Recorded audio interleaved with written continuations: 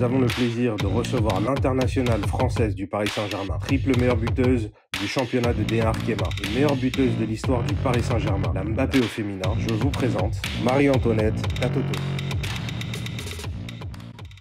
Marie-Antoinette Katoto, comment vas-tu? Ça va. Ça va? Tout Ouais. simplement.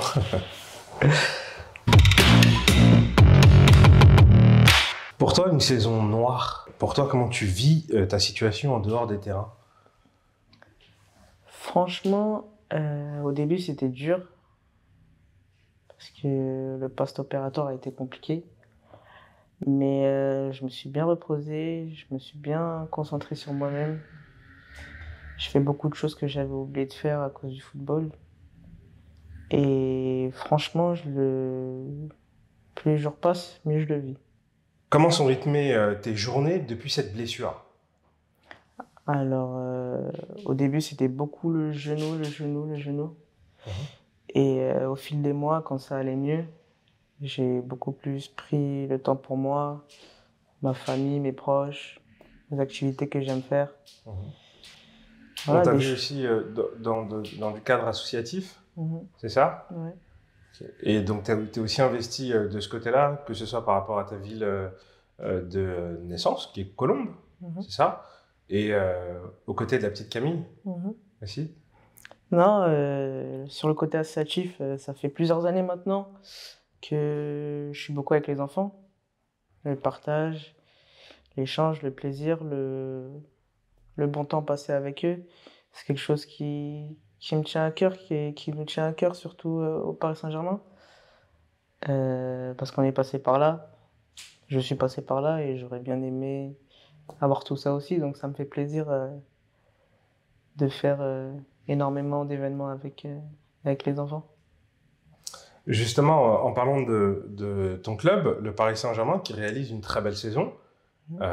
qui est encore en lice pour une finale de Coupe de France, euh, qui est en course aussi pour le titre de championne de France. Euh, le petit couac, c'est l'élimination face à Wolfsburg, qui est quand même finaliste de cette Ligue des Champions. Euh, quel est ton point de vue ton, ton ressenti par rapport à cette saison? Alors, euh, point de vue, il est très mitigé parce que il y a eu beaucoup de hauts, beaucoup de bas. Mhm. C'était vraiment les montagnes russes. Et non, comme d'habitude, euh, le Paris Saint-Germain essaie toujours de s'en sortir, malgré les bâtons dans les roues, les difficultés, les défaites. Euh, notamment celle euh, contre Wolfsburg qui a fait, qui a fait mal. Euh, ça fait plusieurs années qu'on atteignait au moins le dernier carré. Elle sort en, en quart. On est au coude à coude avec, euh, avec Lyon en Mhm. championnat, sans défaite, parce Mhm. que beaucoup de matchs nuls, mais pas de défaite. Et puis, contre Lyon, c'est un rapport de force, c'est une confrontation directe, donc euh, on sait que c'est sur un match, donc tout est possible. Et euh, là, cette saison, ta, ta coéquipière, j'ai envie de te dire, tu as peut-être ta meilleure coéquipière, celle qui te, transfère, qui, te donne euh, autant de caviar, Mhm. Kadi, qui t'a remplacé cette saison. Est-ce que tu as un petit mot ou des, des petits conseils que tu lui donnes pour qu'elle puisse euh, continuer à, à marquer de plus en plus de buts? Non, non, c'est une joueuse exceptionnelle. Je pense euh, qu'aujourd'hui, elle est capable de, de tout faire. Au début, elle était un peu cantonnée sur son côté droit. Et euh, non, je savais que ce qui lui manquait, c'était euh, d'être plus dans la surface, la Mhm. finition. Mais euh, je savais qu'elle en était capable.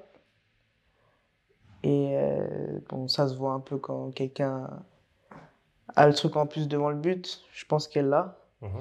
et qu'il faut continuer de le travailler. Et cette saison, elle a très très bien montré. Elle est sortie de sa zone de confort, elle s'est installée ailleurs et elle a, elle a très bien fait. C'est vraiment quelque chose euh, d'exceptionnel et elle a été impressionnante. On bascule sur Miroir, mon beau miroir.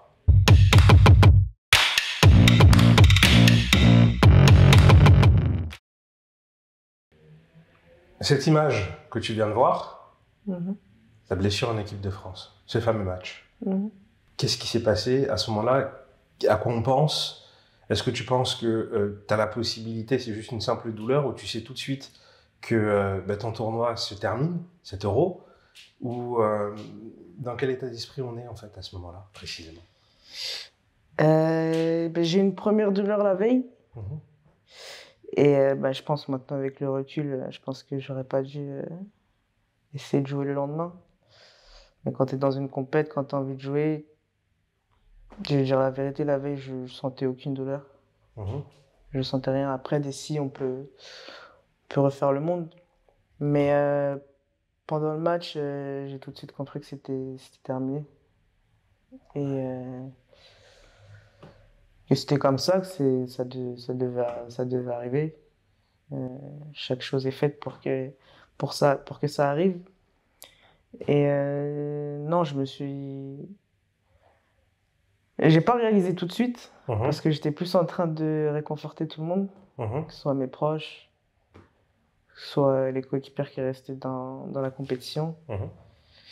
Et euh, ouais, j'ai réalisé beaucoup plus tard, je pense, allez, vers août, vraiment, mhm. que ouais, là, les prochains mois, c'était le foot, c'était terminé.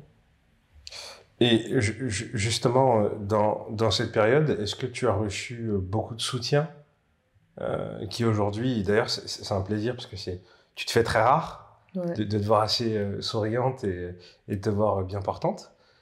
est-ce, que tu as ressenti ce soutien-là? Oui, énormément. J'ai, j'ai passé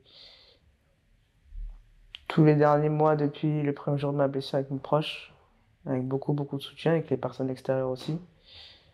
Euh, que ce soit le staff, le staff de l'équipe de France, que ce soit l'ancien ou le nouveau, staff du Paris Saint-Germain, que ce soit des garçons et des filles. Mhm. Non, vraiment sur ça, je ne m'attendais pas, pas beaucoup. Pourtant, je me, je, mhm. me suis mis un peu dans ma grotte, mais non, non, on a, toujours... Euh, Franchement, on a toujours pensé à moi et c'est beau. C'est agréable. Ouais.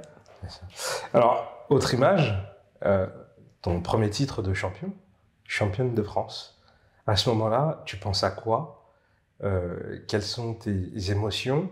Et est-ce que tu penses que tu y es arrivé et que c'est euh, un long chemin, un, début de quelque chose? Ou bien c'est juste, c'est arrivé une fois et ça ne se reproduira plus? À ce moment-là, tu penses à tout plein de choses. Tu, tu, fais la saison parfaite, presque parfaite, mhm. avec des filles incroyables, un groupe incroyable, un staff euh, incroyable, avec euh, une direction euh, magique qui était là presque quasiment toute la deuxième partie de saison avec nous. Leonardo il nous a beaucoup montré son soutien, il était quasiment là avec, nous. Mhm. Nasser pareil, Mhm. qui est supporter avec la fête. C'était. Franchement, c'est l'un de mes plus beaux moments. C'est le plus beau moment que j'ai eu au Paris Saint-Germain. À ce moment-là, tu dis euh, que c'est le début. Mhm. C'est le début, c'est le moment pour construire euh, de très belles choses. Après, il y a des destins qui, se... qui, qui, qui nous ont quittés mhm. pour des choix. On peut en vouloir un peu à la direction, à notre club, à nous-mêmes. Mhm. Je pense, parce que je pense pas que ce soit des filles qui avaient forcément envie de partir, mais de continuer de grandir mhm. avec le Paris Saint-Germain. Donc tu dis que c'est peut-être le début, et puis finalement, depuis, bah, tu as l'impression que tout s'est écroulé, tout s'écroule. Tu as l'impression que c'est un peu c'est incompréhensible. C'est. Mais on n'en oublie pas, pour rester quand même sur une image euh, positif, il y a la possibilité encore de gagner le titre. Oui, c'est sûr. Mais euh, euh, j'allais dire, depuis le titre de championne de France, c'est. L'ascenseur émotionnel? Ouais, c'est ça. C'est que. Je pense que ce sont deux choses différentes. Je pense que ça a été deux années de transition et que et que l'année prochaine, on aura vraiment que ce soit un nouveau cadre. Mhm. Donc je pense que tout le monde se sentira beaucoup mieux. Mhm.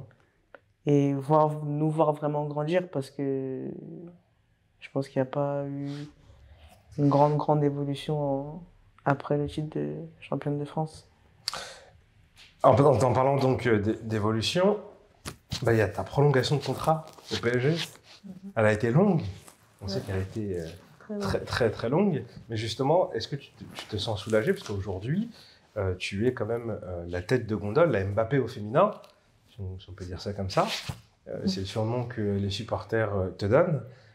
ton statut, cette prolongation, ton club de cœur euh, Ouais, non, la prolongation était très très compliquée, mmh. dire très très longue. Il y a eu beaucoup beaucoup de discussions, surtout pour euh, notre évolution, pour nous faire grandir. Euh, on est arrivé à un point où on a réussi à se mettre d'accord. Euh, tout le monde avec mes proches aussi, parce que ça n'a pas été simple. Mmh. On était un peu beaucoup partagé dans, dans les choix. Après, je pense avoir fait euh, le choix du cœur. Peut-être pas celui du cerveau, mais plutôt celui du cœur. Et euh, j'espère que j'espère qu'on continuera de grandir et que qu'il y aura surtout d'autres prolongations aussi pour continuer de grandir. Et que les joueuses, cette fois-ci, aimeraient venir au Paris Saint-Germain et pas l'inverse, comme j'ai pu entendre. Je vais te demander euh, de répéter après moi, mhm. en levant la main et en regardant donc la caméra qui est juste là, la main droite. Voilà. Je dis. Je dis. Rien que la vérité. Rien que la vérité. Toute la vérité. Toute la vérité.